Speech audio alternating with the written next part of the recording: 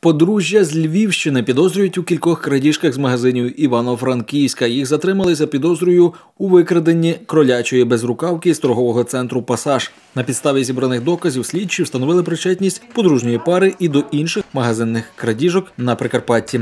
Так минулого року вони поцупили взуття з торгового центру Яблуко. А 7 лютого 2017-го у торговому центрі Ідеал привласнили жіночу шубу з комбінованого хутра вартістю 18 тисяч гривень.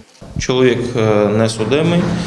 Е, Жінка у 2011 році притягувалась до кримінальної відповідальності, однак звільнена відповідно до закону України про амністію. Ході перевірки цих осіб на причетність до е, скоєння інших крадіжок було встановлено, що вони систематично вчиняли крадіжки е, на території міста Івано-Франківська. Зловмисники повідомили, що викрадені, продали, а виручені кошти витратили. Також зізналися, що приїхали на Прикарпаття з метою вчинення крадіжки. Наразі 52-річному чоловіку та 29-річній його дружині, жителям Золочівського району Львівської області, загрожує кримінальна відповідальність за вчинення повторної крадіжки або за попередньою змовою групи осіб, яка карається арештом на строк до 6 місяців або обмеженням чи позбавленням волі на строк до 5 років.